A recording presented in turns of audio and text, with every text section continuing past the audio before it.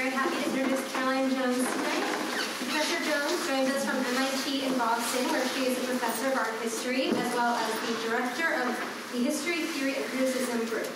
Her scholarship focuses mostly on modern and contemporary art with a specific lens on technological methods of production, analysis, and communication.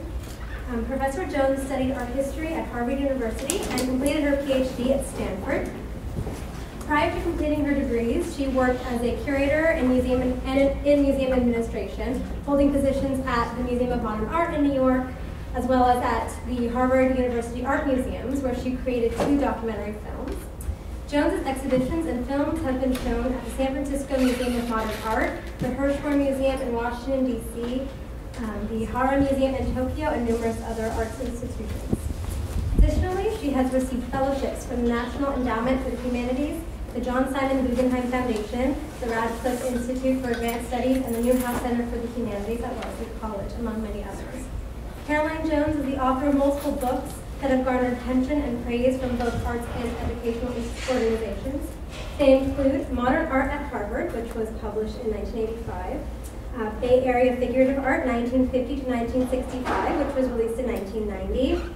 Machine in the Studio, Construction of the Post-War American Artists, published in 1998.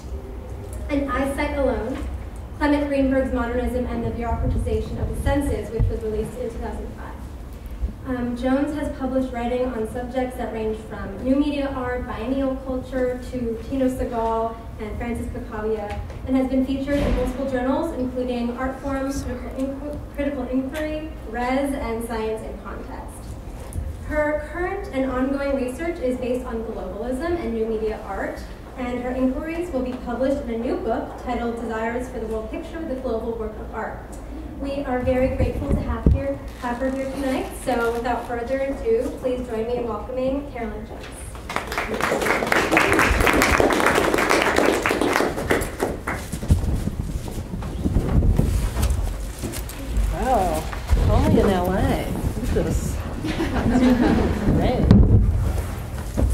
Um, thank you so much, Rachel. Where'd you go? She disappeared. Uh, anyway, that was a really lovely, lovely introduction, and it's super exciting to be here. I've had a couple of days to be in LA, and I've never seen the art scene so exciting and so vibrant. Um, it's really a very vibrant and intense scene, and I'm really enjoying my, my visit. Um, I want to say something kind of off script, which is that the Roski Lecture comes with a really nice honorarium, which is a way of respecting the work that we do, the intellectual work that we do. And, uh, you know, because Amelia is my sister, I'm contributing that honorarium to her school.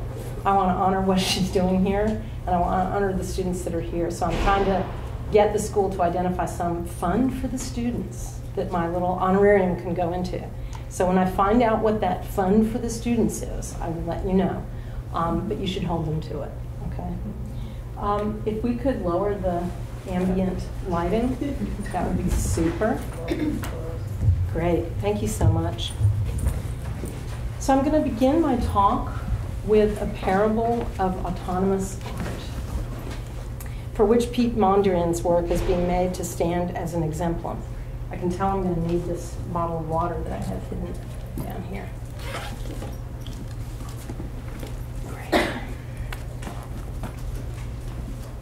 Mondrian joined a long historical struggle on behalf of art for art's sake, an art free of worn out figuration, religious iconography, or historical narrative, an art that could be understood without knowledge of myth or recourse to the artist's biography.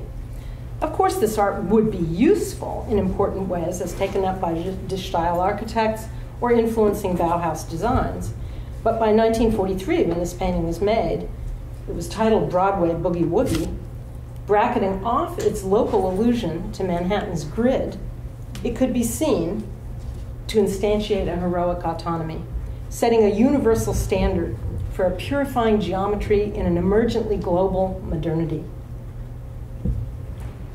To hover on the date of this painting, even for a moment, 1943, allows us to point to the obvious context for its hard won autonomy a world war forcing Mondrian into exile in Manhattan, Less obviously, 1943 marked the first group show for a new generation of very local New York artists who would contest Mondrian's geometric abstraction, aspiring instead to another kind of globalism for turbulent, symbol laden paintings of supposedly universal myths. And there was yet a third global optic being advocated in 1943 the aerial view of military surveillance, as in the exhibition Airways for Peace, mounted by the former Bauhäusler Herbert Bayer at the Museum of Modern Art. Informing Bayer's inverted globe display was the pioneering cartographer Richard Edes Harrison, best known for his work in Henry Luce's Fortune magazine down the street. Here, the airways vision touted by MoMA was given a Cold War gloss for the American century, whether anxiously depicting Soviet perspectives over Europe and Asia, or triumphantly evoking the vantage of the American pilot, touted as the master of these skies. Could there be an aerial symbol laden Mondrian to unite these 1943 versions of the global? Whether in the horizontality of Lego through contemporary animated fly throughs or the overview of conservation and preservation, an aerial view of Mondrian is still an emblem of universal cultural value, purified of politics. The variant I find most suggestive for our discussion tonight is the one on the upper right, made by a student self identified as Vietnamese, Tung Pham, for his computer animation class at the Royal Melbourne Institute of Technology in 2010. We have indeed gone southeast to Asia, as Fortune magazine suggested. And what we discover, of course, is the presence of Asians themselves taking up the distributed universalism of autonomous art. What this opening circumnavigation illustrates is the manner in which arguments for autonomy are always entangled with social mechanisms and distribution systems, never more so than when they serve putative universalisms, fueling widespread desires for the global. The shortcut art history has for this autonomy, as I've mentioned, is art for art's sake. Yet the original phrase, when it appeared in French, l'art pour l'art, had been formulated in the philosophy of Victor Cousin already by 1830, serving as part of the rationale for art's taxonomic insertion into the world pictures materializing during the expositions staged in Paris with great regularity beginning in 1855. These expositions allocated to art its autonomy, but only as one part of a system locking together all other human industries and occupations, the, the entire assemblage glorifying the Universalist French Republic, as here in Gustave Le Play's astonishing 1867 arrangement. Autonomy is, of course, difficult to argue for in this case, but part of my operative thesis is that it was precisely such encumbered conditions that produced the need, indeed the urgency, for the ideology of autonomy in the art world. Take Pablo Picasso's Guernica, known around the world. Like Mondrian's canvas, this one is highly recognizable and certainly modern and avant garde. But how many recall that it was commissioned for the Spanish Republican Pavilion at the 1937 World's Fair in Paris, to be inserted once again into an operative world picture? The commissioning architect, Jose Luis Sert, had given Picasso carte blanche, and after the world's first aerial firebombing of civilians by the German Luftwaffe at the small Basque village of Guernica in April, the artist had his theme. But when Sert's modernist, modest modernist pavilion opened, both painting and building were quite literally dwarfed by the stone dragons of the competing Soviet and Nazi uh, monoliths above them. Guernica, explicitly required to negotiate with such geopolitics, cannot easily be varnished with the romance of autonomy's brush. The risks of entering a world picture are great and Guernica failed to emerge in the overheated context of this World's Fair. The only photograph I've been able to find in which the Spanish pavilion itself is even visible is this one. Sert's small modernist pavilion opened many weeks late, and despite press coverage, its contributions to the fair were largely overlooked in the shadow of those German and Soviet pavilions. The Spanish one was not even included in the official album of photolithographs because unlike the US or Egypt, for example, its sponsoring government was just a rump state embroiled in a civil war. Thus, in order for Picasso's international strategies to unfold, his canvas had to get rolled up and go on tour. It went, among other places, to London in 1938, to Harvard's Fogg Museum in 1941, and in 1953 to the second edition of the New World Biennial, founded in Sao Paulo, Brazil. Guernica became the epitome of the anti autonomous artwork. It was fully engaged in the global work of art, imbricated in specific local and global politics wherever it landed. Thoughts about autonomy need to be nuanced, however, because Guernica has always been held to carry an autonomy of content. The painting is understood to carry a pure anti war message that nonetheless evolves Picasso, Sert, and those who sent the painting on tour specifically aimed to rally support for the Spanish Republicans. After the end of World War II, the canvas became an emblem of leftist anti fascism. And finally, it became a generic message promoting civilians and citizens' collective resistance to state sponsored violence, as, for example, in protests against the Second Bush War, or contemporary websites that proclaim Gaza is our Guernica. In this ideologically constructed yet adaptable autonomy of content, Picasso's painting can be seen as autonomous as Mondrian's. This helps us theorize autonomy's global working. Rather than somehow embedded in the art itself, it is a function given to the art object so that it can emerge out of a political context and into our history. I briefly showed you the museum with its label, which is to say, in the museum, now I'm just going back to a better resolution of this digital image. True, Mondrian's formal choices reinforce his painting's transcendental qualities. His canvas is non objective, that is, it does not depict anything in its abstraction. Its careful brushstrokes convey impersonality, refusing the autographic gesture. Although many of the lines visually extend past the edge of the canvas, its colors do not stray from the pure primaries, red, yellow, and blue, laid down in syncopated visual rhythms. Given the painting's title, we can interpret this syncopation as a deft visual analogy to jazz dancing through the Manhattan city grid. Yet both Boogie Woogie and Broadway were ignored in the early readings of this painting in 1943. As I argued in my last book, the most important mid century critic writing in America, Clement Greenberg, decided that Mondrian's work was a beacon of technocratic universal modernism and in that very autonomy became morally capable of repairing, quote, the decor of the man made world, what of it we see, move in, and handle, unquote. This global formula favored cool, hard edged, non objective abstraction, celebrated through the art historical method of formalism, and built into Greenberg's very apartment, as we see in this 1967 photograph taken for Vogue magazine, where this epistemic configuration could be recommended to the international readership of Condé Nast, when they weren't, of course, reading Fortune. For someone in my generation, formalism was intellectually thrilling, but it failed to capture the gritty agency of art in the world. Formalism ignored both the problems society was asking art to solve and the problematic world pictures in which these objects were being situated throughout the 19th and 20th centuries. The path of encumbrance, of viewers and artists grappling with world pictures, of producers leveraging art's autonomy for other forms of agency, was part of art's history that I wanted to think about. Picasso willingly inserted his work into Sert's desperate propaganda machine, made for Spaniards, by a Spaniard.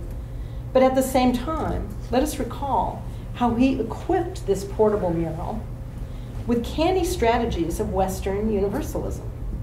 Let's look closely at these strategies since they gloss over the particularities of the German airstrike on a small Basque village to produce, I suggest, something we can call a global work of art. The first strategy is Picasso's grayed out palette, mimicking documentary newsprint and news photography, but in generic and illegible ways. Second, Picasso crafts his figures to allude to a classical past, with fallen warriors and wounded horses rather than burn victims of the German Luftwaffe. Third, the artist's overall narrative emphasizes the bombing's impact on women and children rather than Republican militiamen, with the whole anchored by a pyramidal composition that dates back to the Renaissance, nested within, allusion, within allusions to the medieval triptych. Finally, Picasso's strategies of Western Universalism include the iconography of barbarity versus enlightenment, slightly updated from a torch to a light bulb, the lone signifier of modernity in the painted mural. Guernica then was made as a consciously worldly painting, for the West, of course, that wielded universalism to smooth over local difference. It rendered a particular Basque town generic in order to propagate globally and avoided placement in a nation for 40 years. To me, it is crucial that such tactics were instigated for and propelled outward by a World's Fair. This allows me to state a central argument of this talk tonight explicitly. The fair system structured a set of imperatives to which artists had to adjust. World's fairs and biennials produced new subjects for art, prompting new tactics by artists who aspired to globality. It is this history of worldly entanglement, of engagement despite claims to autonomy, and of the working of art that I aim to tell.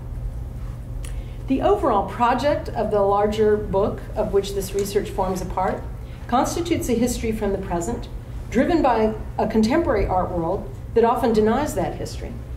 This art world is saturated with biennials. Their artworks often deeply woven into specific sites or explicitly non autonomous, invoking politics, the body, and alternative sensory paths.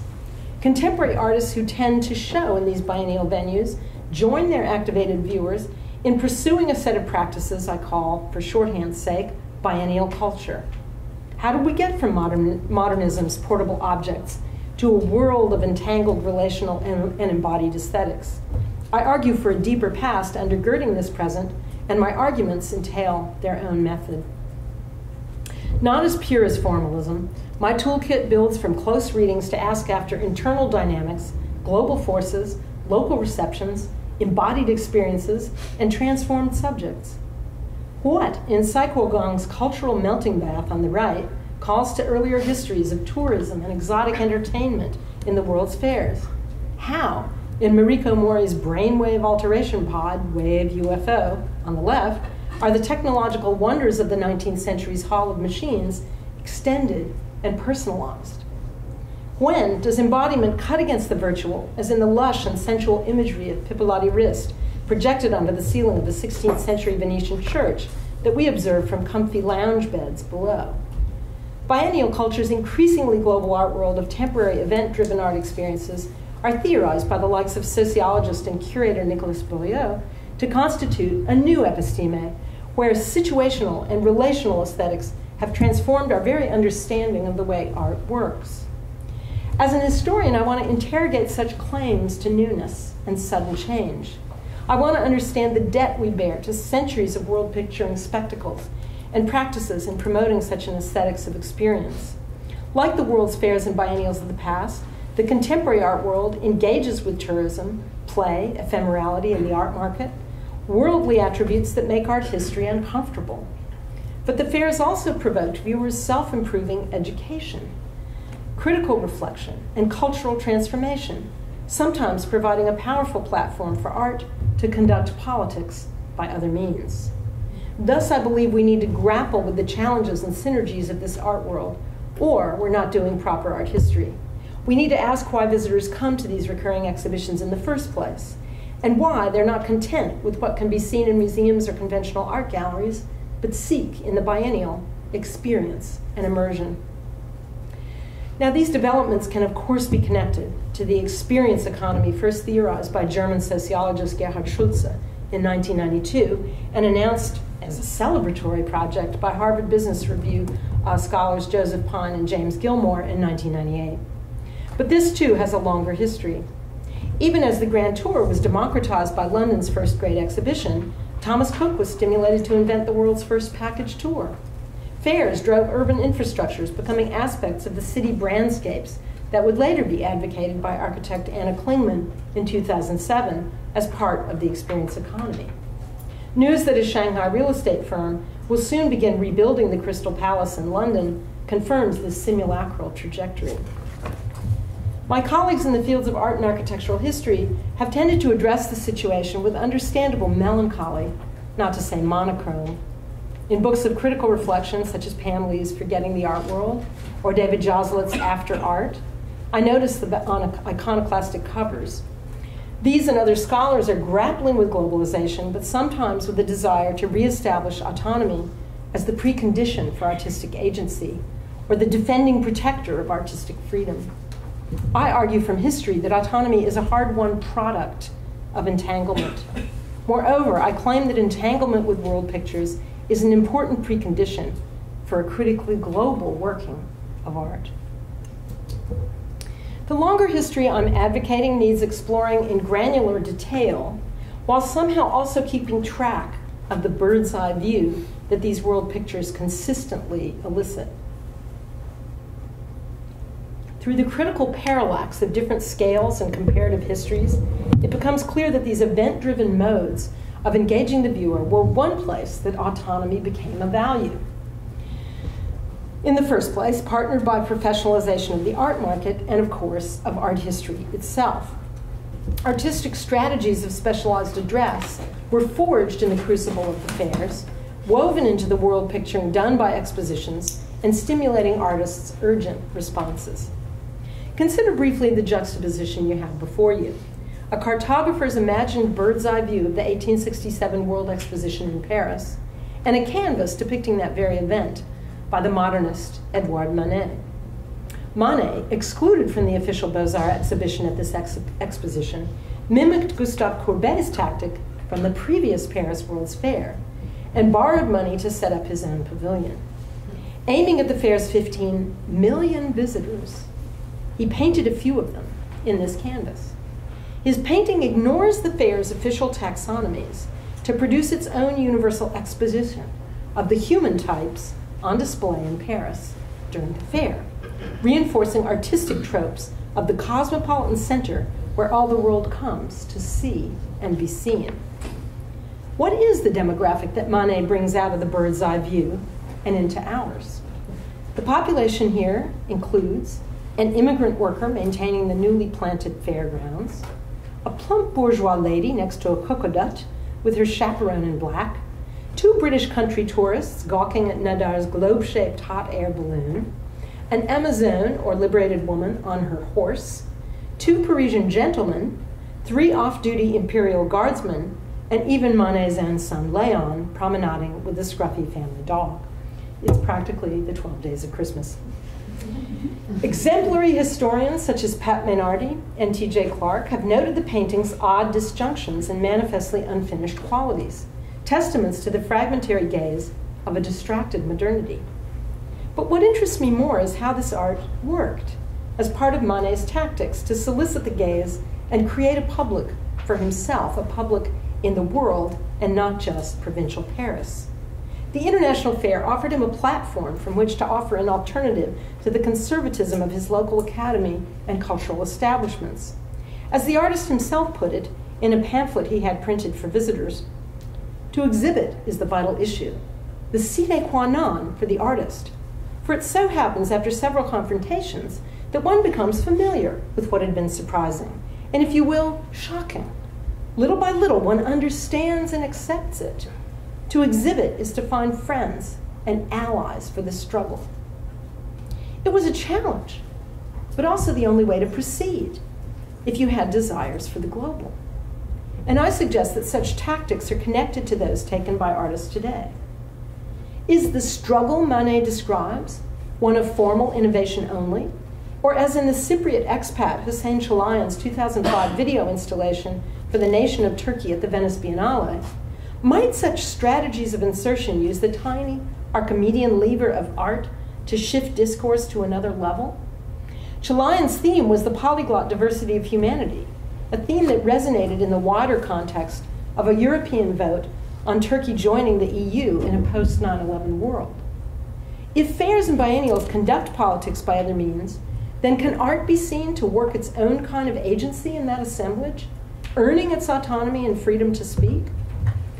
Such questions drive my larger book's project, The Global Work of Art. I've shortened the title. I don't know, it just got too complicated. So it's The Global Work of Art. Crowded into this slot are images spanning the history I've researched, from the 19th century World's Fairs, here exemplified by geographer Élisée Reclus' terrestrial globe at the 1900 Exposition Universelle in Paris, to the 21st century artist Mona Hatoum with her glowing sculpture Hotspots at the 2007 Sharjah Biennial.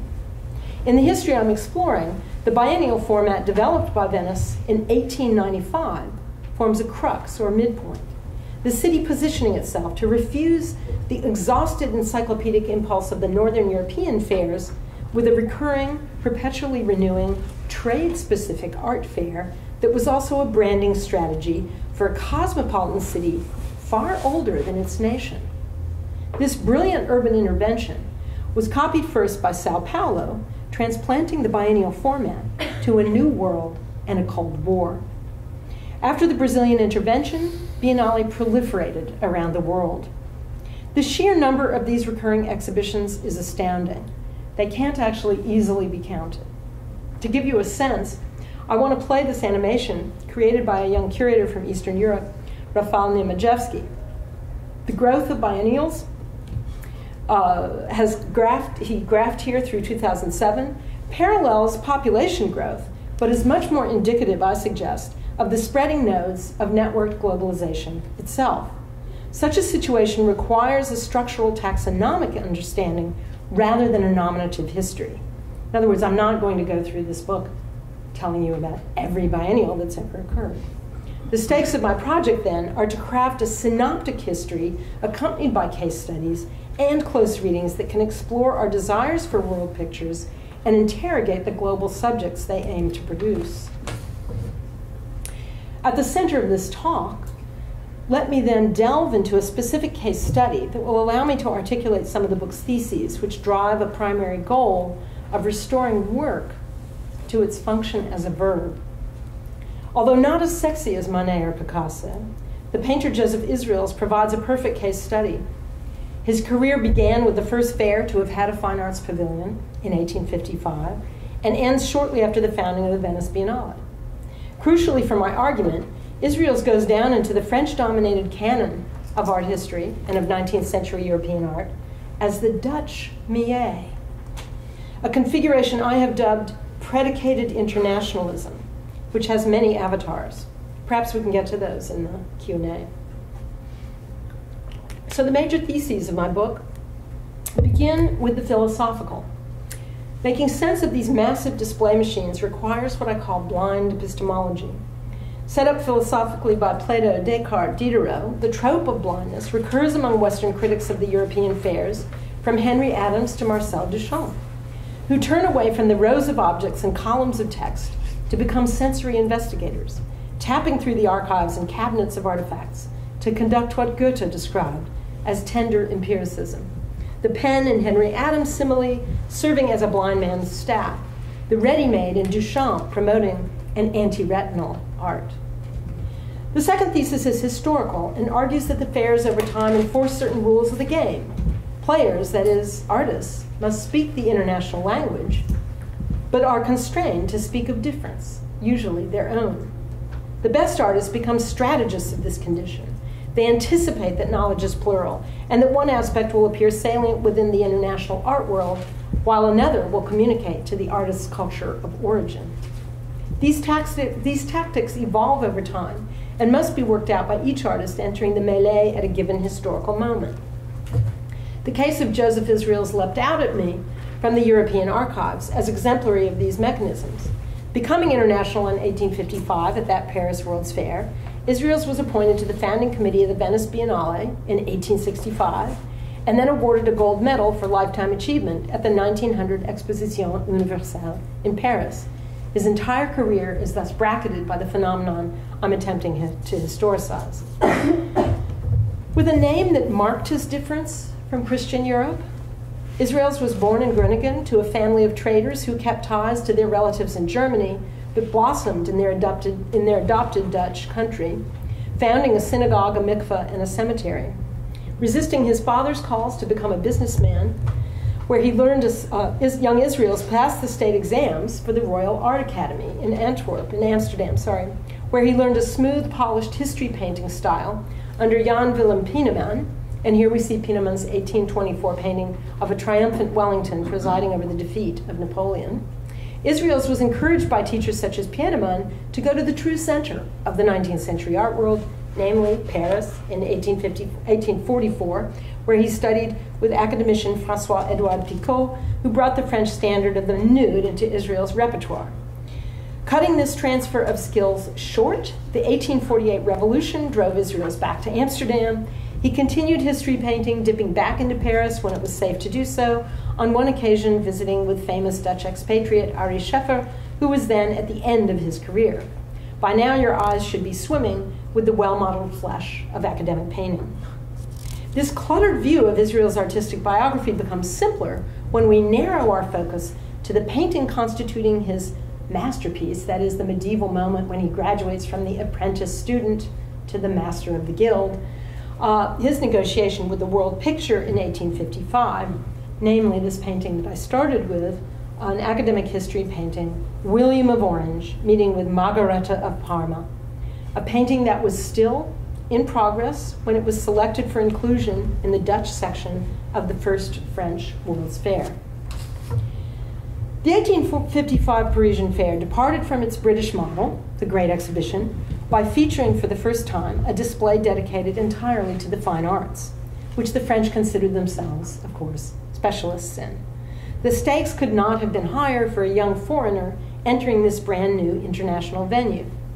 Israel's earnest attempt is, frankly, overworked and lugubrious, but we can see the operative standards well enough. Remember the unspoken rules of the game as I've articulated them.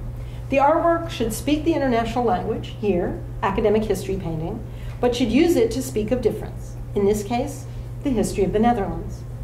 The event being shown is a 16th century meeting between William of Orange, the Protestant born, Catholic raised favorite of Charles V, and Margaretha of Parma, regent of the Netherlands and half sister to the Habsburg Emperor Philip II. Don't worry, you don't have to really know this. Mm-hmm. Although she was Philip's designated ruler in the Low Countries, the important point of this history was that Margaretha had no army. Hence, she was utterly dependent on William, Prince William, the ruling stadtholder and spokesman for the local noblemen and their militias. the frozen moment the tableau records is April 1565, when Margaretha was presented with a petition from the noblemen demanding an end to the Spanish prosecution of local Protestants, i.e., the Inquisition. As Israels wrote to a friend, this moment seemed, quote, really interesting as a subject to represent his, quote, fatherland, because William was so secretive that for many, no one knew how he was taking the advice from the open council chosen by the party of the people, until with a single gesture, he declined to follow the edicts of Philip. End quote. With a foot in the two warring Christian faiths, that is, Protestantism and Catholicism during the wars of religion, William represents reason and tolerance for Israel. His raised hand makes a commanding gesture of restraint that can also be read as a blessing or a promise of grace. A grid placed over the picture reveals the explicit hierarchies. Margaretha and her courtiers are linked in indecision, while William commands them from above, supported warily by the diplomat to our left and more courageously by the soldier on the right.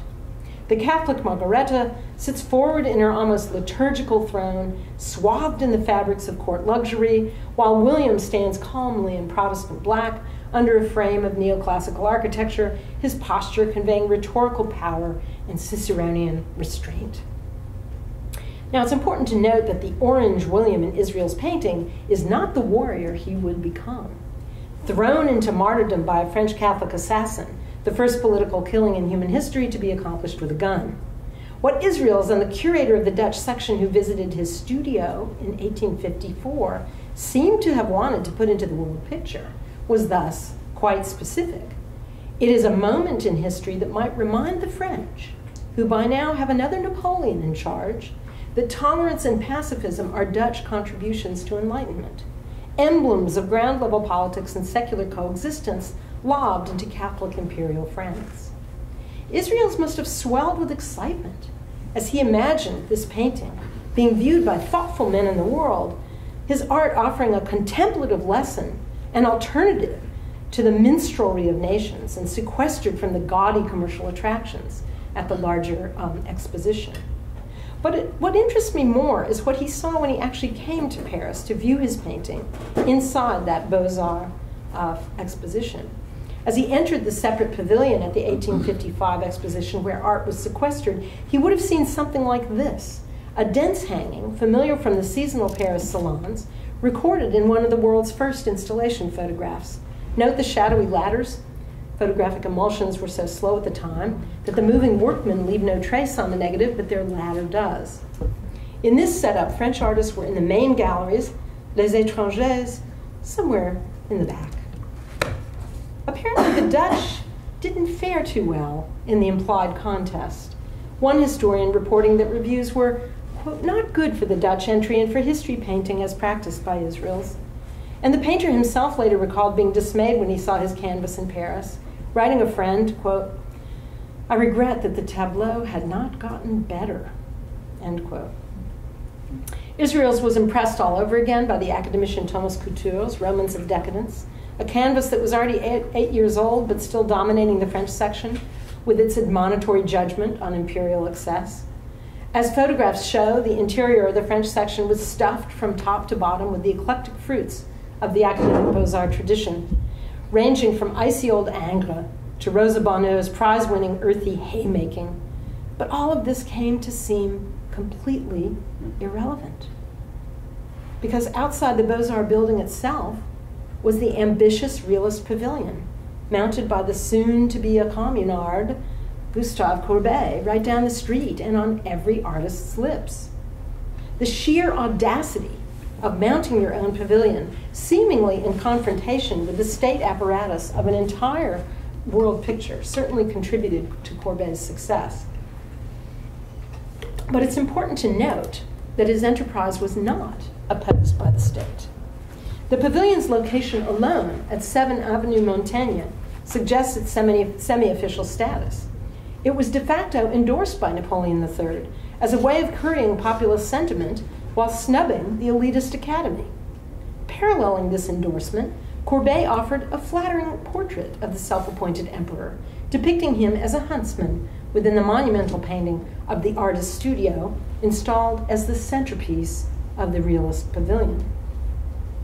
We have to imagine paintings like this and the accompanying realist manifesto hitting the young Israels like a slap in the face, or perhaps a kick in the butt. A paradoxical fusion of academic allegory, contemporary politics, and everyday being, with no great moments of history, no clear narrative, no academic brushstrokes, and only this shadowy, pictorial, pasty, crusty kind of painting to knit these murky contemporary figures together in a tableau, of course, dedicated to the individual artistic genius at work. The clarion call of Courbet's realist manifesto, not necessarily realistic.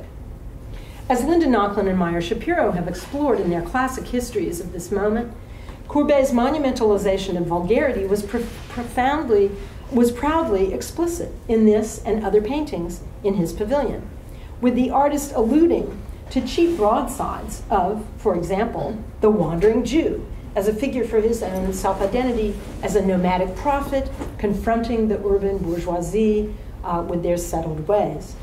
How much of this was known to Israels is unclear, but certainly he would have grasped the pavilion's polemical function the style of realism that had been appropriated from literature as the new model for visual art, the shocking new mode of featuring regular people from the present day as the subject matter for monumental painting, dominated, of course, by the artist's self fabricated genius. The style's supposed ugliness was perceived at the time as both political and populist in the wake of the failed 1848 revolution. The radical Pictorian lessons in the realist pavilion included turning away from the city with its erudition and intellectualism, its classical references, its academic criteria, to depict those left behind by industrialization, anonymized by its displacements. These new subjects were applauded by socialists such as Pierre Joseph Proudhon, who commented Courbet's painting is an irony directed against our industrialized civilization, with its, which is incapable of freeing man from the heaviest, most difficult, and most unpleasant tasks the eternal lot of the poor.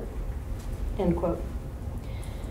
Perhaps most salient to the young Israels was that in order to depict these humble workers, Courbet had turned to nothing other than Dutch 17th century genre paintings, with a new crusty materiality that reinvented them for visceral modernity. Courbet's temporary pavilion would have upended everything that Israel's Dutch masters had thought important. They had valued history and classical reference, polished with skill, erudition, and varnish, notions they'd imported from the French Academy itself. In reckoning with Courbet, Israels would have to go back to the old demotic language of Netherlandish genre painting, a tradition, of course, that was never his. Enlarged to a massive scale and anonymized into hieratic universality. This was asking a lot. The histories of Israel's life recount that upon his return to the Netherlands from the exposition, he plunged into crisis. This crisis could be resolved only by becoming blind to the fair itself, becoming blind to academic painting, in order to see with fresh eyes the force of Courbet's stunning new imperative. The resolution for Israel's is immediately evident in works that he painted thereafter, such as Alongside the Cemetery from 1856, a genre painting of the seaside proletariat, monumentalized to tragic proportions. The tale of Israel's crisis and transformation threads through the literature, what literature there is, that is, nicely reinforcing Western tropes of artistic development that have endured in art history since Vasari's Lives of the Artist in the 16th century. Thus, we read in the first biennial catalog in Venice, uh, four decades after this painting, that the young provincial Israels learned the falsità della sua educazione by going to cosmopolitan Paris. After confronting this falsity in his education, he is said to have fallen dangerously ill, taking himself for a rest cure to the North Sea coast in Zandvoort, about 10 miles from Amsterdam. Here, turning from urbanity, just like Courbet, he made the studies that were later summarized in a painting like this a totem of Israel's new faith in the facture and politics of international realism. Zandvoort was perfect for this transformative alchemy, offering Israels a sharp contrast between the humble fisherfolk who lived there and the fashionable tourists who had begun flocking to the developing bathing resort from urban Amsterdam. In this context, the artist split the difference between Courbet's striding self portrait and the humble, toiling father and son of his stonebreakers, who were now given a baby and a religion, all situated amidst the particular scenography of the Dutch coast. The new mode became so successful that Israel's is now best known for these scenes of humble fisherfolk, including another tableau about death that would win accolades in the London art world um, during the World's Fair of 1862, becoming a celebrated acquisition at Britain's National Gallery of Art. Here, the comparison would be not to Courbet's meeting, but to another painting from the 1855 Pavillon du Réalisme, the vast burial at Ornans, with its horizontal frieze of figures merging with the landscape and grappling with death. These homologies with Courbet go really unmentioned in the literature. It's quite perplexing. Recall that it was Israel's fate to become not the Dutch Courbet, but the Dutch Millet. Why this linkage? The short answer is that Jean Francois Millet offered a better market. Millet was avowedly a realist, but one highly palatable to the world market and acceptable to the French state. Casual globe-trotting collectors were bewildered by Courbet's strange pictures and radical politics. Millet was more easily comprehended. Interestingly, many of Millet's early adopters came from the US, led by Boston artist William Morris Hunt, who purchased Millet's more difficult early painting, The Sower, which was already in Boston by 1851 painted and collected before the great exhibitions had even begun. Once Millet entered those world's fairs, his gaze softened, and he began to emphasize his affiliation with the palatable tradition of Netherlandish genre paintings, rather than the socialist sympathies evident in Sower, a shift that further increased his appeal for the world's collectors. In this more tepid later realism, honesty, warmth, and directness were still valued above academic art's polish, but brushstrokes would be smaller, contrasts would be softened, and color shifted to the rosy end of the spectrum. If Millet would learn to anonymize labor from Courbet, he would also domesticate it. Courbet became a communard committed to the urban proletariat. Millet painted the rural poor in ways that could reinforce Jesus' message the poor you shall always have with you. Biblical allusions were certainly available in Millet's one entry to that 1855 exposition where Israel's painting was also on view. Following a thorough state evaluation of his political background in 1852, Millet had been pre approved for the important venue of the fair. The painting he submitted is a veritable holy family. As one historian described it, for peasant grafting a tree, exhibited in the World's Fair of 1855, Millet tempered his usual brutal realism, perhaps in response to government pressure to display non controversial themes for an international audience. Millet's friend Sensier occupied a key post in the Ministry of the Interior and regularly mediated between the government of Napoleon III and the painter. This, then, was Millet, the conciliatory Barbizon realist, rather than the brutal portraitist of the poor, the marketable French artist to whom the Dutch dwelling Israels would be so consistently compared, a predicated internationalism that Israels himself seemed to, decide, seemed to desire. Or at least this is the implication of the anecdote reported by Max Liebermann, a young secessionist writing of his old friend in Holland in 1901. Israels once said to me, No painter except Millet has been less able to draw and paint than I, and yet made such good pictures. In other words, said Liebermann, like Millet, Israels is not a man of talent, but of genius. Cottage, Cottage Madonna, I propose, uh, confirms that this was a genius of place, genius loci, honoring the tutelary god of Christian Dutchness. What I want to emphasize here is that a painter such as Israel's, beneficiary of Europe's tenuously secular enlightenment, a talented underling, enabled by bureaucracies of the state to find his way into international expositions, had to learn his innocence, his common touch, and his channeling of Western and largely Christian fatherland in order to enter the international fray.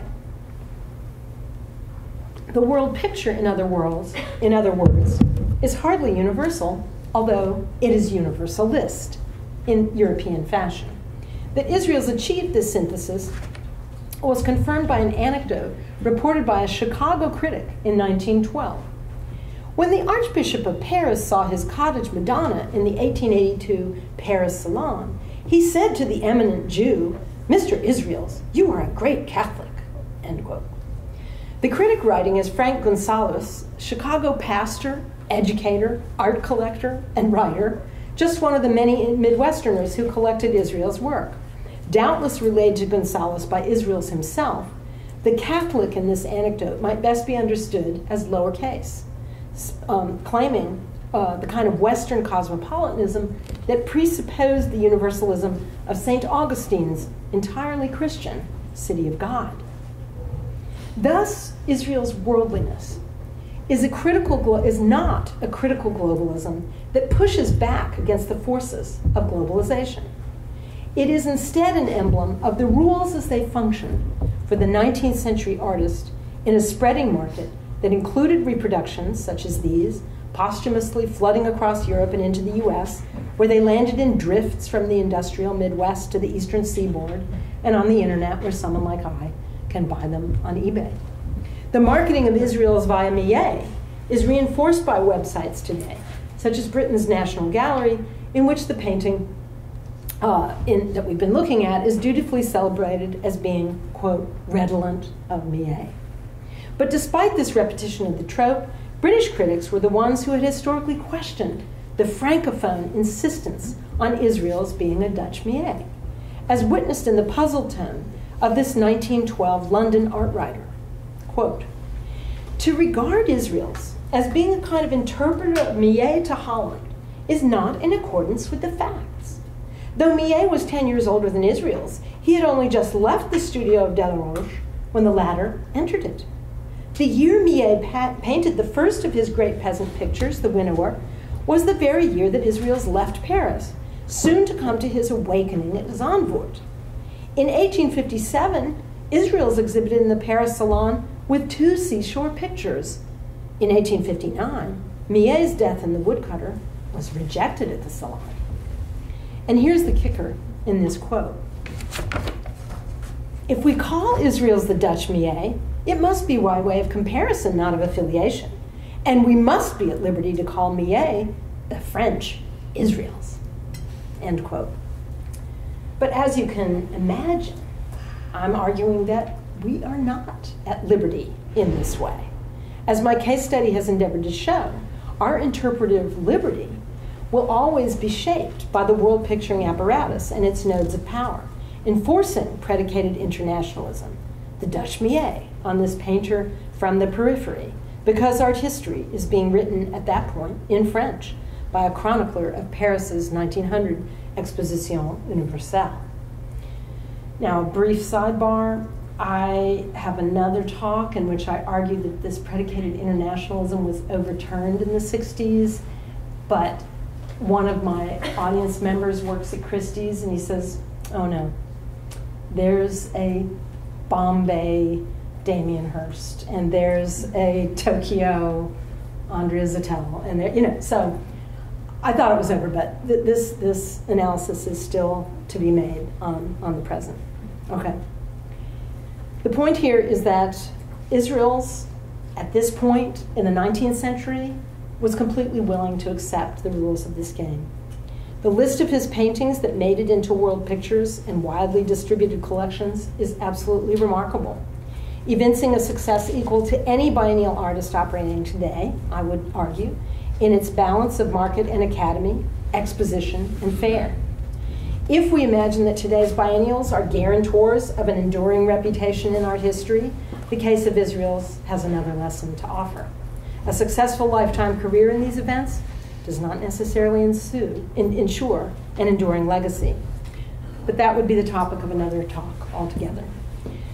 Let me approach my conclu- conclusion with a recap of the historical theses. Artists who will enter the world picture must adopt the prevailing international language and use it often to speak of their own difference.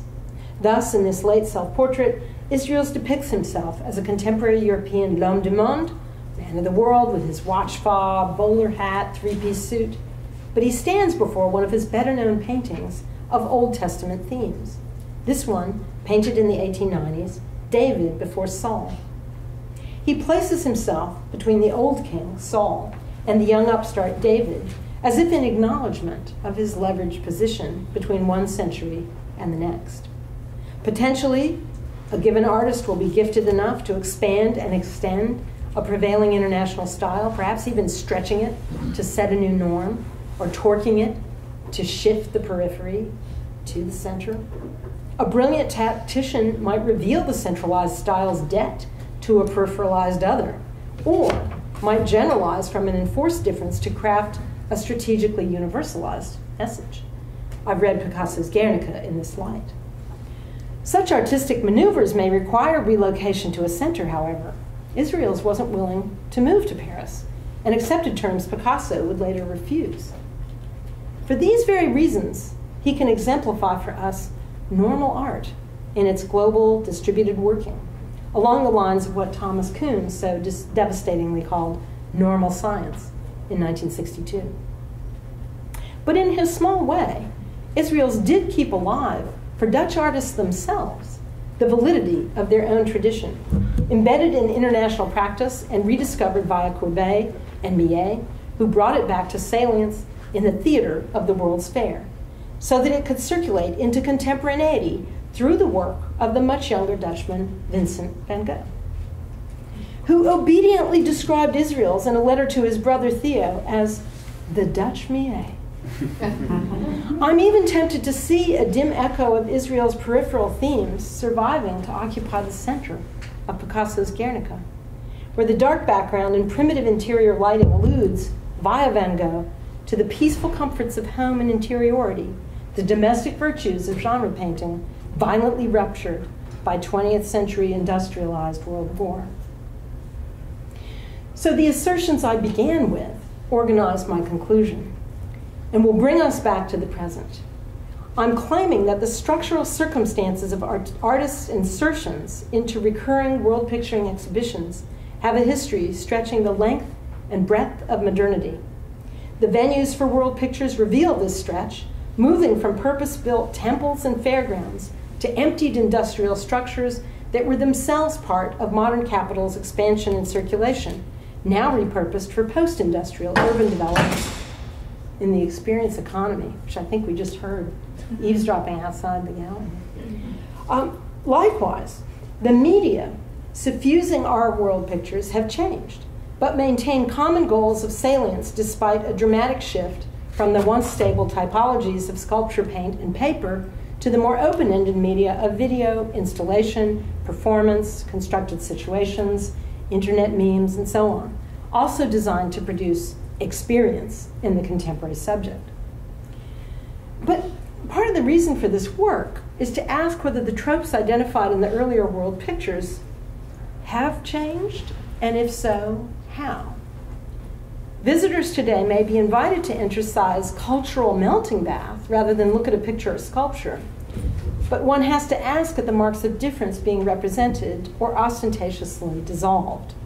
Experience, which once included taking once included taking a bone rattling trip to see an exposition with the promise of a cup of imported tea at its end, may now be bundled into a total sensory package at the biennial itself, via literal immersion in a diasporal Chinese artist's bath of steaming medicinal herbs. In the final analysis, I want to hold off the collapse of all expositionary art into a late capitalist experience economy.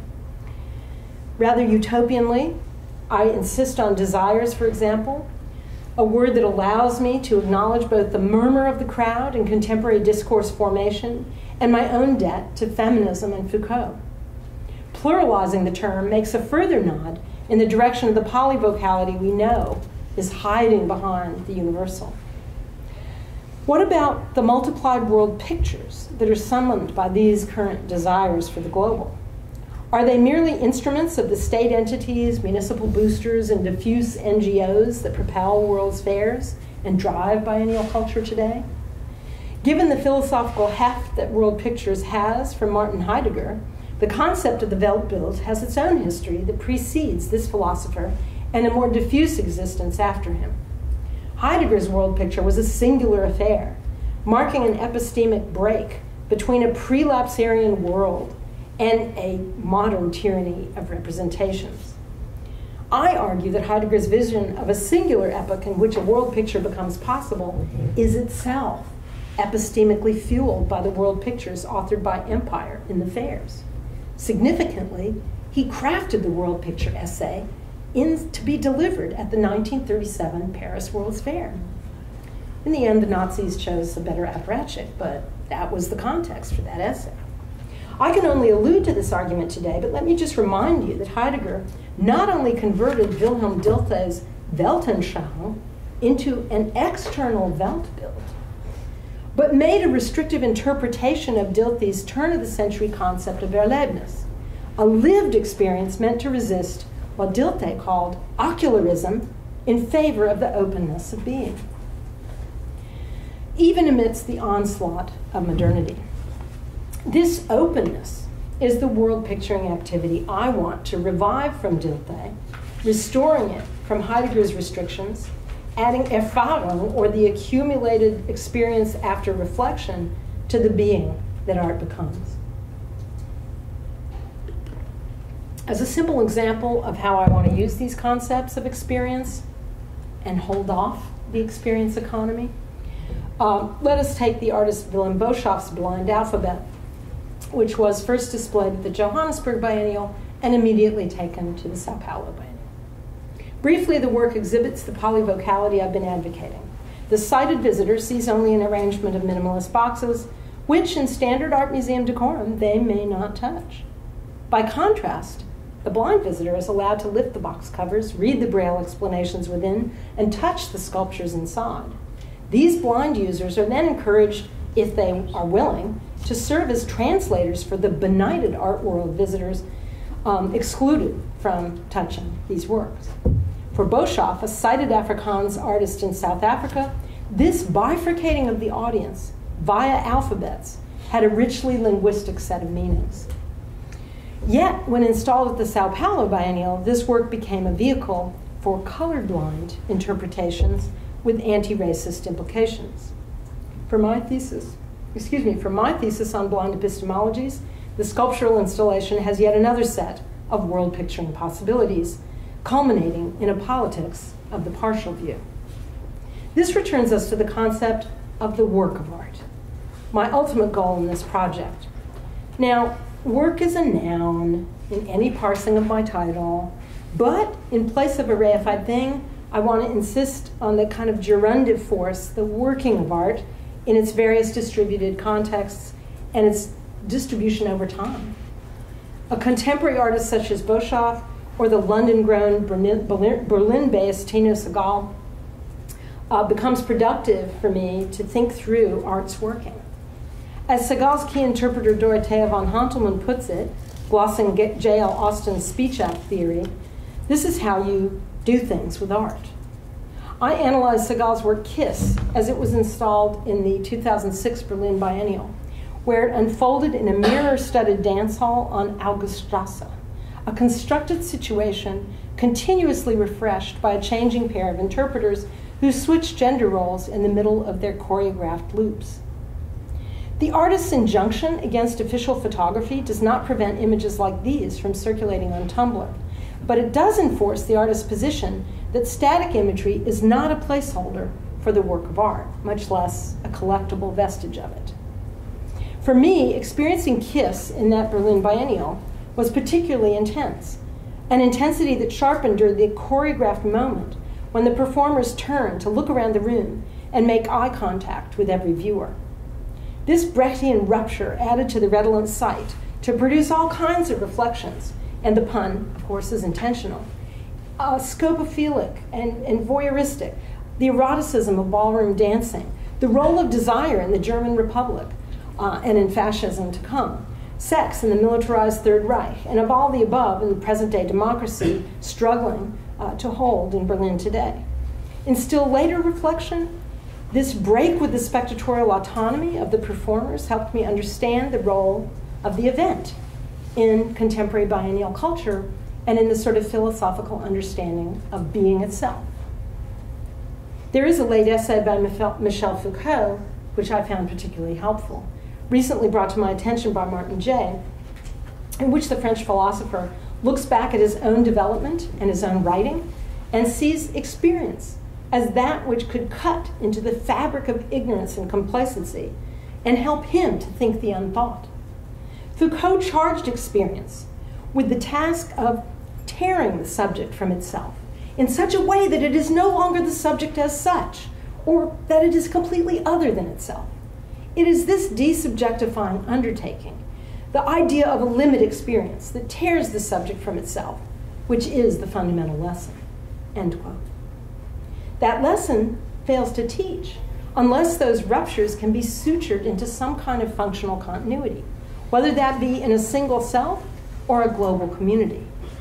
This is how I want the global to function for us as an ever shifting platform for debates about situated experiences shared in a polyvocal project of knowledge production through the representational theater of art. That this kind of experience is potentially disorienting contributes to the politics I intend by focusing on desires for the world picture and for the global working of art. Thank you.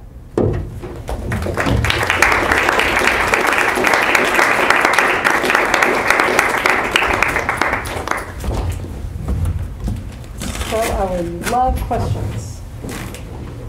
There's still time to change my argument, so.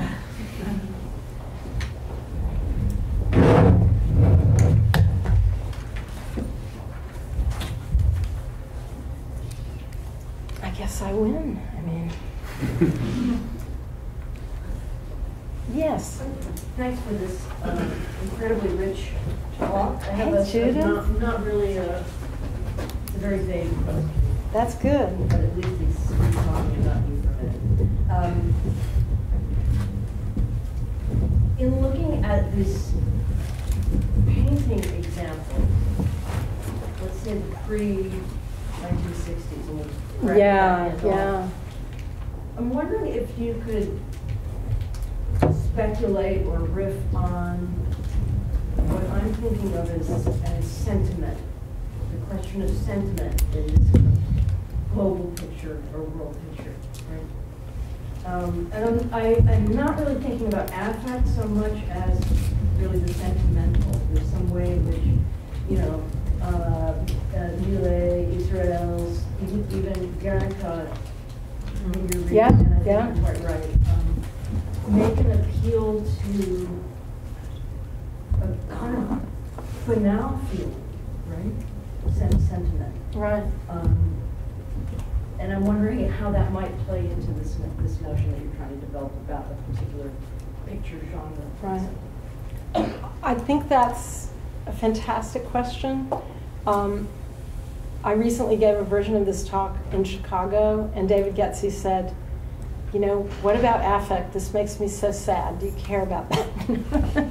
um, so there, there, there's something, there's something there. Um, I am rooting for Israëls, and you know, he's trading this, this, this academic machinery for something much more intimate. And I think you're right. I think he's just, we could say, if we wanted to criticize him, we'd say he was pandering to sentiment. If we wanted to praise him, we would say he was calling to the universal human condition and its sentiment, you know? He was, he was offering an education sentimentale, you know? He was, he was trying to get us to come with him to this universal, you know, place of the modest home, domestic, you know, the poor fisherman. What's he going to do with his dead wife and his three children? He has two children. Um, so that's that's a very interesting observation, and um, I don't know quite what to do with it, but it's really interesting. And it might be that you could track the technologies of the self if you want to take a Foucauldian approach and simply ask how the art is using affect to produce a particular kind of subject through a claim to an international language of the visual. You know, I mean, you could you could you could frame it that way. It would be it would be very very interesting. Um, and I and I agree that I think I think Guernica's right in there. Um, Guernica is, you know, an inexhaustible work, and yet it's a pandering. You know, it it it, it actually takes surrealism and, and banalizes it to be about the actual violence to bodies rather than some sort of like psychic, you know, détournement. So it's it's Picasso's own self vulgarization, and it's a really interesting move that he's making there to become public um, through surrealism. Um, you know, it's right up there with Dali and, and, and sort of Madison Avenue, you know, and how it wants to use surrealism. Uh, and that, that, is, that is super interesting. So thank you for that question. I have no idea if I answered it or even articulated it correctly, but, um, but that's, that's, really, that's really interesting. And, and if, if I was to sort of update it, I think for me, the, the contemporary artworks that I want to think with um, produce an affect of profound disorientation, uh, sometimes shame, sometimes embarrassment, um, sometimes a kind of like exhilarated, I, I can't believe I'm, I'm looking at this. Is anyone looking at me looking at this, right? I mean, that whole complex is, I think, where the best work puts me, and I use best only in my own experience, only as something that I just can't stop thinking about, something that just bugs me. Um, and as for the Sehgal, you know, I have to lay my interpretation to rest in this book, but, you know, I just saw the quote, same piece at Martin Gropius in utter blackness with naked people. And so, is it the same piece? Uh, am I the difference? I mean, you know, like, what was that, right? So, I'm, I'm going to have to keep thinking, but whatever. Book, book, has to, book has to be done. But thank you very much for that question.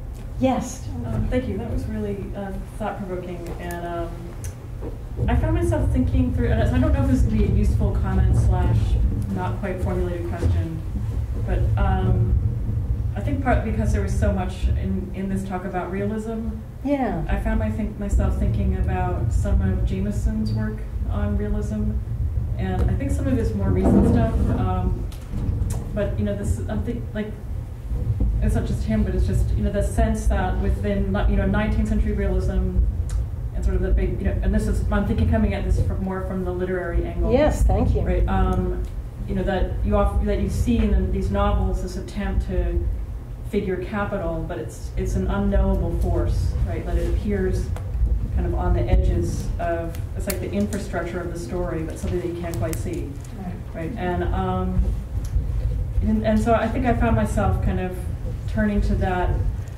in relationship to the way that you're, you're talking about, like, the, you're using the word, the, or the idea of the global um, in your work. And, you know, is that, is it to, is it, um, you know, like, just in terms of thinking, like, what kind of legibility does the global have um, um, in and around the works that you're The looking hidden at? hand. What? The hidden Yeah, hand. Know, so- global. Yeah. So, Um, so, totally formed by Jameson in my, you know, like coming up. But I think I depart from him, I'd say, I, I share his desire for a, a, mo- a mobile force of, of, you know, art and the creative as surfacing the things we have to think about. Um, but I think I see it on a more phenomenological level, and um, it, it does need to be critical, but it might start being critical through our very own disordered self, if that makes any sense. Mhm. Um, and back to realisms, one of the things that I find fascinating about that moment in my ignorance of literary theory is how the writers are completely problematizing representation itself. You know, so, you know, Flaubert is saying, you, reader, are just sitting comfortably by the fire, and you think this has nothing to do with you, but this is a real story about real people and their crumbling huts, you know, and their poverty, you know. And it's like, wait a minute, this is a novel, so they're not real. But you just made me aware of the fact that I am real, but maybe I'm not real because you just wrote about me too, right? So it's this, it's that, it's that feature of literary realism which I think is so powerful and what I meant by realism is not realistic, right? I mean, it, it, you know, and this is just something I have to teach my undergraduates. You know, realism is not realistic, you know. Um, so I don't think Israëls was kind of, you know, clever enough or centralized enough to those debates and those issues to be able to use that. So, you know, I, I think I might have, can I, do you mind if I rephrase my question? Yes. Now, As we've been talking, it's been Yes. helping me to Okay. kind of um, articulate uh, to myself. I think the question is like, um, is it the, is it the global or the market, or are they the same? Right, like, because I mean, a lot of what we're seeing with Israel is, in, in the story that you presented, which I love, um, you know, is him being moved by this contact with realism, but then that also being mediated by market right. there's a you know real kind of materialist history Absolutely. presents in terms So- the development of his style. So Great question. The market, capital M, right? I mean, it's got to be there in this story. But interestingly, he could have a market if he was an academic painter, right? So a lot of this is a story about cultural capital. It's about whose opinion you care about. It's about how to be um, with those cool people over there that seem to be cosmopolitan. Right? What is that language? What, what are they talking about? Can I can I speak that language? What is that language? Right? Um, and and that is the thing that interests me in the 19th century when I can find that. Now in the 20th century, what I start to observe is what I call critical globalism, and this is my chance to proselytize for some terminology. So art historians got kind of clever about saying, well, you have modernization, and then you have modernism. And modernism is what the artists are doing and theorizing about that. But we've gotten really, really messy about global, right? So I want to say globalization is that bad stuff that's happening in neoliberal late capital. And then there's globalism, which is a field of representation that the artist can enter and wield and think about and critically reflect by. You know, so I've had to add the word critical so that it's like kind of helps people understand what I mean. So I argue that critical globalism is an artistic tactic. For making us precisely aware of this kind of situating. So, um, you know, I do have opinions, and they, they tend to start to pile up towards the end of the book where it comes more and more, you know, to the present. Um, but I think a part of me just is holding on to a utopian space that doesn't completely collapse into the experience economy. And um, I'm not throwing up my hands and I'm not saying, well, our history should have no interest in this because it's all about the market. I'm saying things are happening here that are really important. And indeed, some things are happening in biennials that can't really happen at the Broad. I mean, uh, you know, so let's look at that and let's think about what kind of subjects they're implying and producing. I've also been tremendously moved by the arguments of somebody like Okwui Enwezor. Whatever you think about him, this kind of will to globality is, I think, a very moving concept. Like, who are we to, you know, deny, you know, someone anywhere from like desiring to have a global public? You know, um, who are we to prejudge that as some sort of a hostile market pandering thing? so the artists that I tend to really admire are people like, you know, Georges Adéagbo. You know, he's like, okay, I'll be in your Venice Biennale. And then, like, he's like performing, you know, his like little outsiderness. And but here's this picture of Elvis, and here's this picture of, you know, you know, Sarkozy. And I mean, like, he's totally current.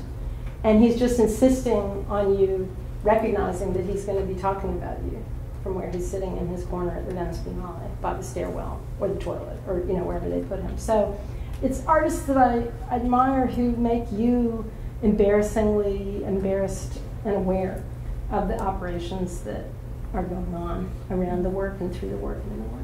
Does that make sense? Yeah. So it's it's um, you know it's kind of pro artist this book. Um, not every artist.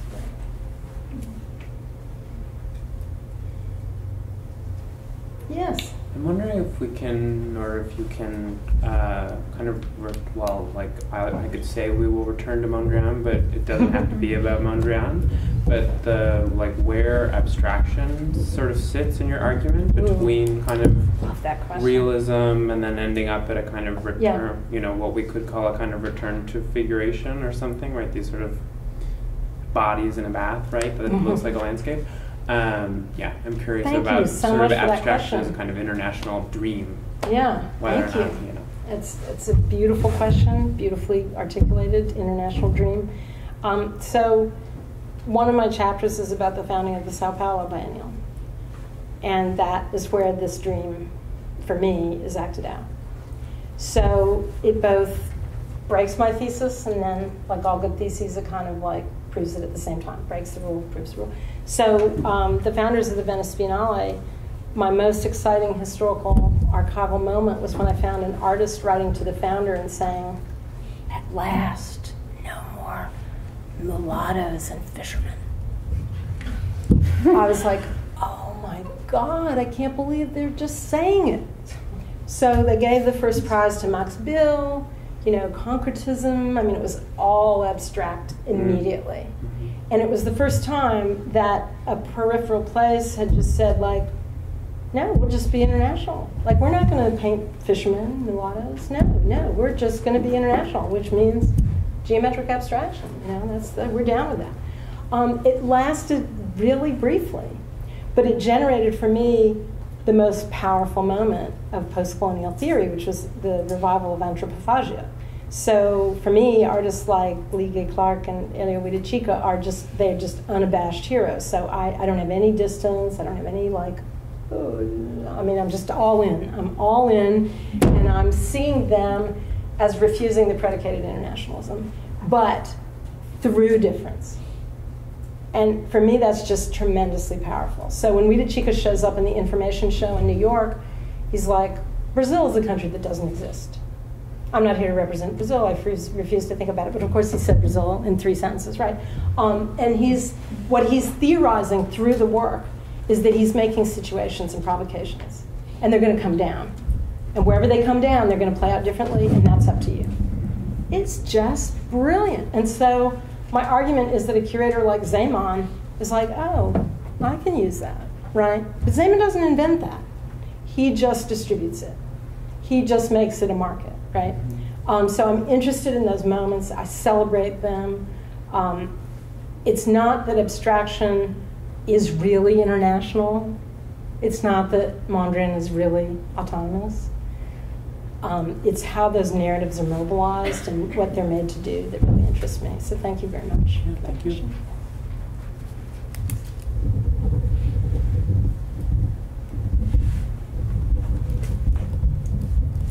Yeah, Nora.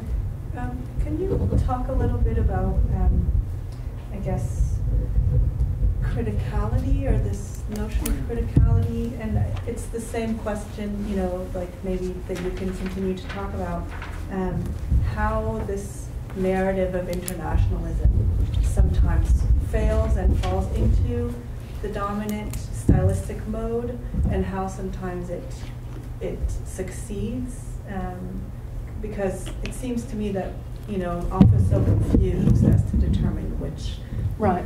um, moment is critical or not, or when. So could you So, yeah, so that? part of the responsibility of critical globalism, which might sound kind of heavy-handed, um, is ours. So, um, this is a book that, that calls to the viewer and the visitor to be, you know, doing the work, doing the work of the art. Um, so, let's just take the bathtub. Let's just take um, the Westerners, you know, sitting in, yeah, there we go. Um, so this is a project that predates its inclusion into the biennial. It was actually commissioned by Jane Farver, the dear, late lamented Jane Farver, for the Queens Museum of Art. Cai wanted to work with the community of Queens. He was enormously moved by the, the American narrative of the melting pot. He was enormously moved by this very polyglot community of people in Queens who were from all over the world and spoke all these languages, some of which he knew. And in typical Cai Guo-Qiang fashion, you can't really tell how cynical he's being or how innocent he is. It's just not. He's, he's kind of Warholian. He's not gonna. He's not gonna reveal that. He's hiring his doctor from China to prescribe medicinal herbs for the community of Queens. He wants to heal the working man. You know. Um, the piece is taken up by curators and put into the Lyon Biennial, which is what you're seeing um, here on the left, I think. Um, I can't remember which one is Queens and which one is Lyon, but um, they put it into a biennial about, you know, partage d'exotismes, you know, like it's curated by Hubert Martin, you know, we, we are all the other, you know, we are also métissage, you know, we are, right, so they're doing the work of global, but it's up to us, the visitor, to sort of sit in that thing and decide how embarrassed we feel as half-naked Westerners sitting in a Chinese artist thing in Lyon and buying, you know. So, so I like this piece because it very aggressively puts us in the hot water um, as Donna Haraway would say, we have to sit with the trouble. We have to sit with the trouble. We can't critique it away. You have to just sit in it. And I have this wonderful picture that I found on Cai's website and got him to send me to put in this book of Barbara London from the Museum of Modern Art in the Queen's installation. And she's going like, and Cy is in the back and like seems to have a beer in his hand, you know, with two buddies speaking fluent Chinese or whatever, you know. Um, and kind of Barbara's me, you know what I mean? It's like, you know, totally unsure about the politics of this piece. Like, I have to do that work. I have to look at other works by this artist. I have to think about what this artist kind of means by the accumulated force of his work. This shows up in Naoshima as part of a special Japanese art tour, right? That you can go to this special island in Japan, you know, just like be in this hot tub, you know. And that's like a triple irony, right? Because he has to import the hot tub from New York when it's going to Lyon, but it's actually a Japanese custom that's been Americanized by hippies, right? So the whole thing just gets you really thinking. Um, the, the curators in Lyon, you know, wanted to know if they should bring the water from Queens. Like, is it like Lourdes? You know? I mean, I love every part of this. I love every part of the history. I love every anxiety. I love the fact that this netting was actually just wrapped around the rocks and it was supposed to be thrown away. But when he put it out you know, when they kind of laid it out, it was like, it looked kind of like mountains. And, you know, all the mildew and the mold and the crap, you know, it looked kind of like, you know, kind of like Chinese mountains, you know, so he strings it up, you know. So I just love every part of the process of bringing these together and the, and the sort of dilemmas that it propels us into. And that it would feel very different if you went to it in Queens than if you went to it in this kind of like, sam, you know, consume your métissage, you know, moment in Lyon. So all of that is, is super interesting to me. And Lyon, after putting it in the biennial, you know, bought it, right? So Mm. presumably we'll, we'll see it in some institutional fashion and it will continue to be interesting, what, how, how it's inserted into the French narrative of otherness, you know, you know. I don't know if that gets, so, so that, in that case, the critical globalism is mine, because Cai's not, he's not telling me anything, except for his doctor's prescription and his love for the people. You know, he's not telling me anything about what, what to think. Other questions? Oh, Let me, let me try again, something different. I keep thinking about popular and unpopular, you know, Greenberg's unpopular art. And um, what you're doing is making this unpopular, right? By giving it a sort of dense reading instead of just having it be sort of one thing that.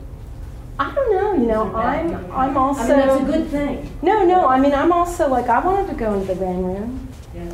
I mean, I was like three weeks too late to get my ticket, but I, I wanted to go in the brain room. I wanted to feel what that was like. So, you know, I'm also just the happy child, innocent, you know, like I want to experience the room, you know? I'm sort of asking where this critical global idea, how it, how it moves forward, can it be articulated with something like that popular, unpopular, um, notion that Greenberg puts forward is kind of following on Grant's remark earlier of- about abstraction, which was unpopular and then became popular and then it became, un- you know, unpopular in a different I way. don't know. I, you know, it's a great question. I don't know if, um, if it's a, if it's a binary that works for me. I don't know if I know what to do with it. So in Brazil, abstraction was immediately popular. Yeah. I mean, you know, I have these amazing pictures of people pressed against the glass. You know, they couldn't wait to get in. In the back of the biennial catalog are illustrations for Knoll furniture. I mean, the second they could afford that, they wanted that, right? That was not the problem with abstraction. It was the problem was not that it was un, unpopular. The problem, you know, as Lygia Clark and you know Gullar and Oiticica, you know, as they all started thinking, was they just felt like there was a lot that we were, you know, wasn't getting talked about, and they also suspected the Rockefeller complex of the Knoll furniture and the Museum of Modern Art catalogs. I mean, they just they just thought the whole thing started to smell. So, um, popular and popular. I mean, there is an element of the whole biennial culture that's just about the popular. So, you know, my Italian mathematician and her Polish Italian, you know, Polish mathematician husband, you know, they just like go to the biennial because that's where they're going to see contemporary art. I mean, they don't they don't know where to go to some gallery, you know, you know, you know, right? So there's some sense in which it's just it's just like, hey, people, here's here's the popular. We've done the hard thinking. Come see what it's all about, right? Um, and that's definitely a part of it. And certainly, the World's Fairs were all about that. You know, we'll have our shilling days, and we'll have the day when only the Queen comes, and we'll have, you know, I mean, it was all about that, those forms of address. Um, the other anecdote that I discovered the history of that got me super excited was how even the worst art could become provocative and critical in the right with the right audience. So Hiram Powers' Greek Slave, I don't know why, but I just thought I'm going to look. I'm going to look at that. I'm going to follow that through the fairs. And in the 1851 Great Exhibition, abolitionists and freed slaves from the U.S. performed the Virginian slave in front of that thing at the Great Exhibition. I mean, that's amazing. I had no idea. Nothing in art history had taught me about that, right? So I think when you go to these things, when you, when you go to them as historians, you, you just find amazing performatives around the art that you just didn't know were possible. How even bad art can mobilize a kind of critical internationalism. Yes. I remember seeing that piece in Lyon, um, and I Did you had- only see it? Or did you immerse? I was there for a short time. It was a quick visit, so I didn't immerse, not immerse. But I also remember there was another piece. I can't remember the name of the Chinese artist that was an aviary. It was literally a bird aviary, and I think this is indicative. I think he stuck some birds in here, but I don't. No, it was, a- it was a different one. It, it had perches. Okay. And what, what I uh, remember is that at a certain moment around 2000 and then extending into the Venice Biennale in 2001, where you had Ernesto Neto's a kind of immersive environment, Sure. the spices and, you know, sort of multi-sensory. I think there was just a moment of the, this type of immersive installation that was happening in biennials at that moment that also begged a certain amount of audience interaction. And this maybe is less related to what you're writing about here and more related to what you wrote about in Sensorium. And I think that a lot of these projects are about the body of the viewer, about an immersion in some kind of environment. Yes, it's spectacle, but this has been characteristic of biennials for the past, you know, 15 years Yes. in some form or another. Yes. And also, I think it leads into things like Utopia Station and the idea of trying to bring a sort of, call it social or public practice into a biennial format. So I think it's indicative of something else. So the question I have here is, do you talk in the book about the idea of the reception of, a, of the biennial, how one circumnavigates, how one, you know, needs the moment for the rest, and the sort of walking through the Giardini, like the whole physicality of, of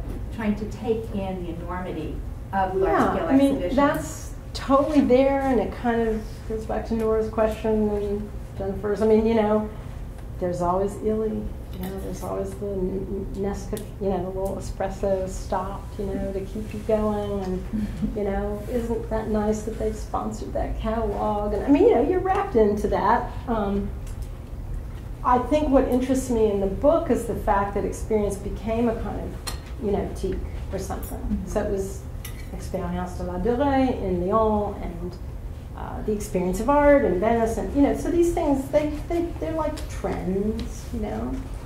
But I'm also interested in the kind of mega trend that the festal atmospheres and events that were outside the art pavilion are now inside the art. Mhm.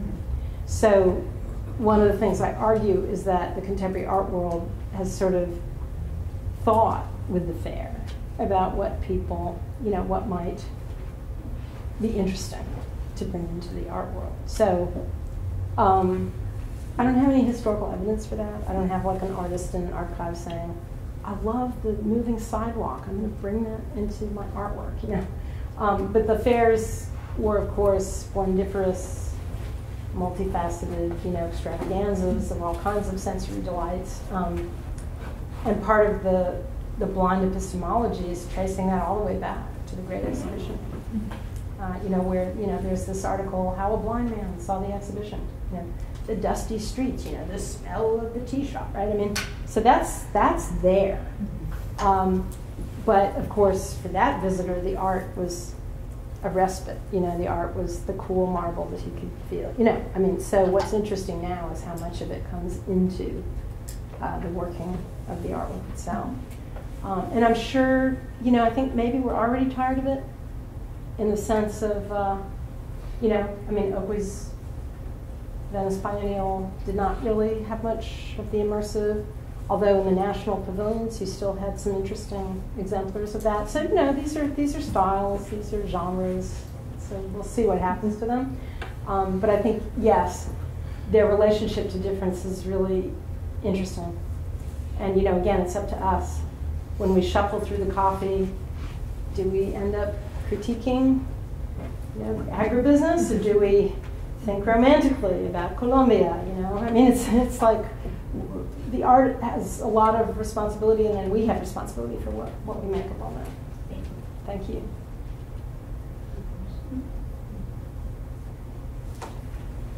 I think we'll end here.